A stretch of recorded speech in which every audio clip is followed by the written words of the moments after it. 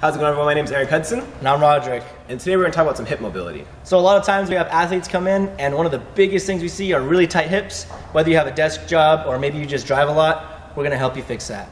Today we're going to show you some easy uh, stretches and some exercises you can do before your workout or after you workout to help you get more mobility in your hips. All right, guys. So the first thing we're gonna show you is the assisted squat. The assisted squat is definitely good because you're gonna be stretching in the movement that we want to do. So find something to grab onto. From here, widen your stance to whatever position you use to squat, and you're gonna slowly jump into your squat. Okay, using the pull the least amount as possible. Okay, you want the least amount of pressure. Now, for instance, if you get here and that's as far as you can go, let's say your back starts around like that. Okay, keep it up. Drive down a little bit further, and then slowly walk it back up. And let's say you're gonna be doing 10 reps, 15 reps, whatever it may be. You're gonna try to increase the, the how far down you go. So each time, we're gonna inch down, inch down, okay? You can get a little bit further this time. Okay, and let's say your back starts around, if you feel it, come up, drive down, and then back up. Okay, eventually, you'll be able to get all the way to the bottom, okay? Back's nice and flat. And then as you work your way, you should be able to do it without the pull in front. What's up guys, my name is Joe and I'm going to show you guys the modified lunge. So first of all, you want to first lunge, right? From here, you want to take a longer step forward, driving your hips down and into the ground. You can either hold your hands overhead or on the ground, but either way, you want to have all your weight forward. Some key points would be squeezing your butt, right? Your knee is behind your toe, so not all the way forward. That's the knee behind your toe.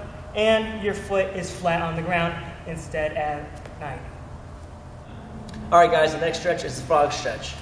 We're gonna do it after your workouts, okay? After you're warmed up. So, what you're gonna do, I grab ab mats because this kind of hurts my knees. So, both legs on the ab mats. Few things to look for. We wanna make sure that the knee is at a 90 degree angle and our uh, knees stay, I'm sorry, our hips stay right above the knees.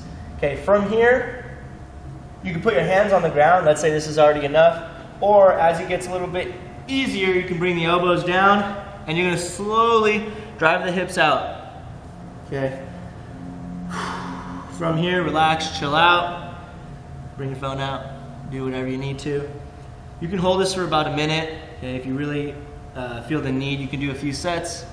And uh, the best way to get out of this, rather than trying to stand up straight, is just go ahead and slowly come to your belly, bring your legs together, and uh, that's it.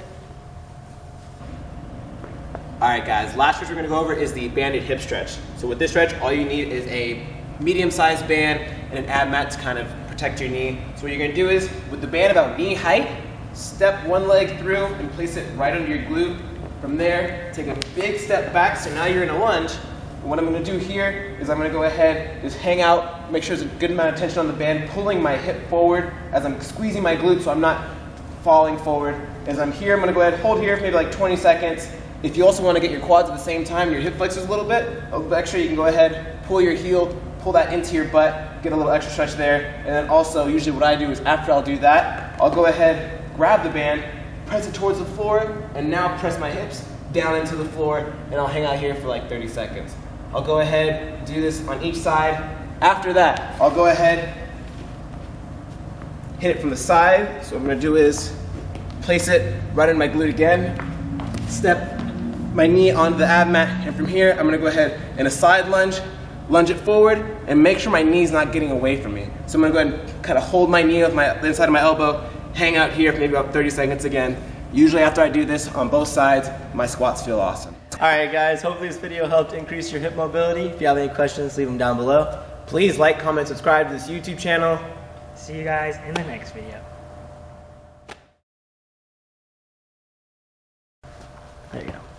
There you go. Keep on scooting. Huddy, keep on scooting.